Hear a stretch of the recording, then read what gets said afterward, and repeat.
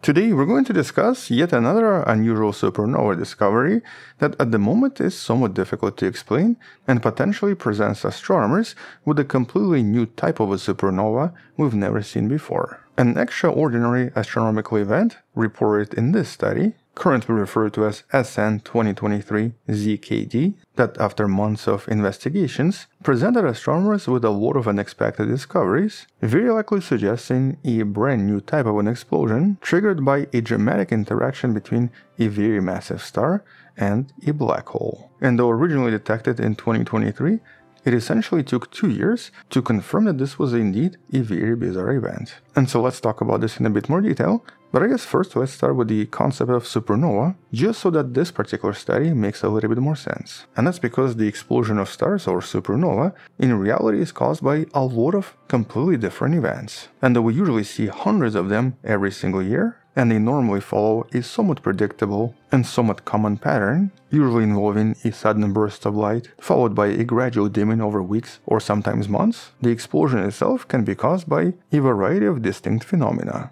with each type of supernova showing slightly different properties and even lasting for a different period of time. But in this case, SN 2023 ZKD, that happened approximately 740 million light years away from us, defied quite a lot of expectations and quite a lot of predictions, once again revealing a completely new mystery of the universe. And so initially this was found in July of 2023.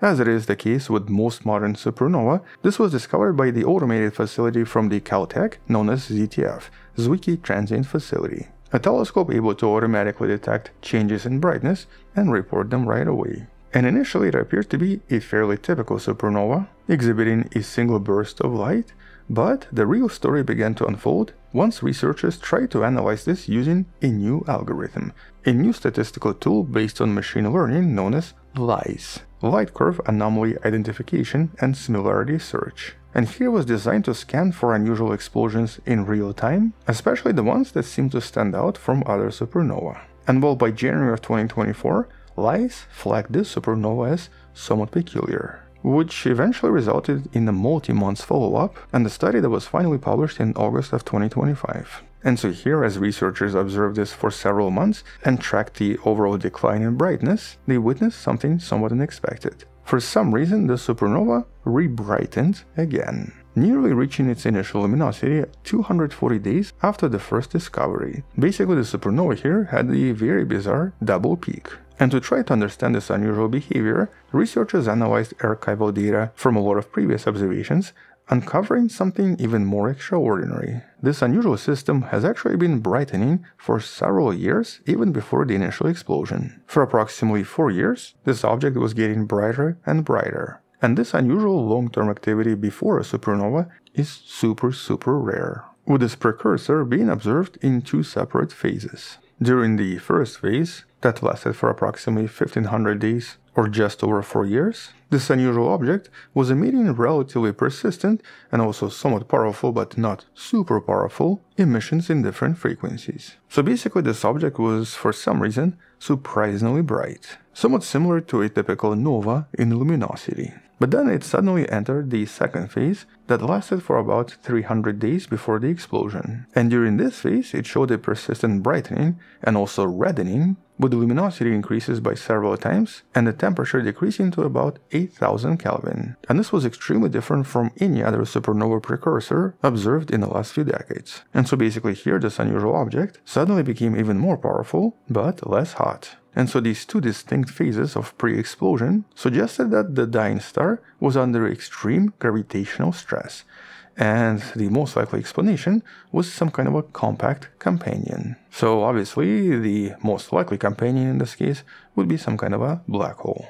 And right now, this is the most likely interpretation. This unusual behavior is a result of a massive star locked in orbit with a black hole, with its binary system slowly losing energy as the separation between the star and the black hole decreases. And it's really the black hole's intense gravity that then starts to pull gas and dust away from the star and forms an enormous accretion disk that seems to be responsible for these initial emissions in the last five years. But crucially, the gravitational stress from the black hole then triggered the star's explosion before the star could be completely swallowed by the black hole in essence ending their partnership. And right now, this is the strongest evidence we have that such unusual interactions can actually detonate a star. Here's roughly how this particular observation compares to some of the previous supernova in the last decade. With the alternative explanation, though I guess less likely explanation, suggesting that in this case the black hole completely tore the star apart before it could explode on its own.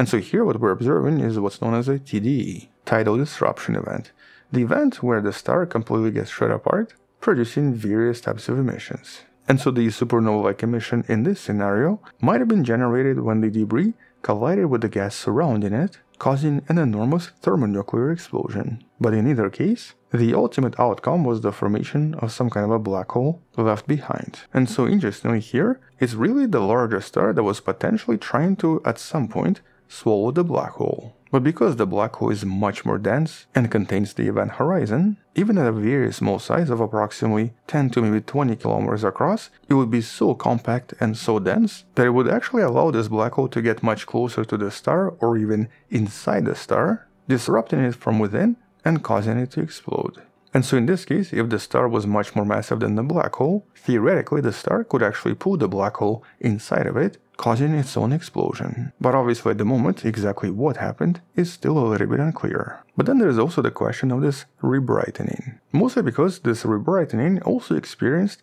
a somewhat complex photometric evolution that the researchers now believe is linked to the interaction of this supernova ejecta with a lot of material from the star that was very likely released for years before the final supernova. Here this is usually referred to as CSM or circumstellar material. And so the first peak that you can see right here was the result of supernova blast wave colliding with the lower density gas. But the second delayed peak was very likely caused by a much slower but sustained collision with a much thicker disk-like cloud surrounding this object. And here that second peak happened approximately 220 days after the first peak. And based on the changes in luminosity, and based on how fast the brightness decreased, it even becomes possible to analyze exactly what seems to be happening around this object. For example, the very rapid dimming observed after the second peak suggests that the supernova ejecta very likely passed through this dense cloud pretty quickly. With the analysis of the property of this cloud, mostly through what's known as shock modeling, indicating a total mass of about 5 to 6 solar masses ejected during two separate mass loss periods, with one of them being about 3 years before the explosion and another one approximately one and a half years before. And the overall ejection rate was very fast, 4 to 7 solar masses per year implying that whatever was happening to the star was essentially shredding it apart super quickly, with these very eruptive sudden events as opposed to gradual release of material like we usually observe in stars that do not have a black hole partner, and stars that usually emit a lot of mass. In other words, the fact that there were two massive eruptions and so much mass was released in the process once again confirms that there might have been some kind of a black hole involved that caused the star to suddenly lose a lot of mass. And this analysis was so accurate that it even allowed the researchers to calculate the overall velocity of the gas escaping the center. Here we have two different components.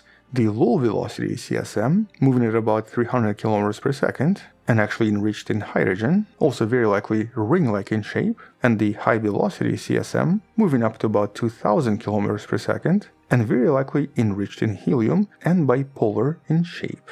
And so here we have these two very large asymmetric components, once again implying that this was a binary system, and a binary system with a very powerful, very destructive interaction. And based on all of these observations and all of this analysis, this has now been classified as what's known as Type 2N supernova. Here N denotes narrow, the presence of narrow hydrogen emission lines that seem to be produced in various supernova where the initial star loses huge amounts of mass before the explosion. With the overall conclusion from the study suggesting that this supernova involves a binary system undergoing an instability-induced merger, very likely between some kind of a massive helium core produced by a star over 30 solar masses initially and a smaller black hole companion of approximately 10 solar masses. This whole process described in four separate steps. First, for many years before the explosion, the system seems to undergo some kind of an unstable mass transfer, with the massive star shredding huge amounts of gas, leading to super bright emissions we usually refer to as super Eddington luminosities. This forms both hydrogen shells and helium shells,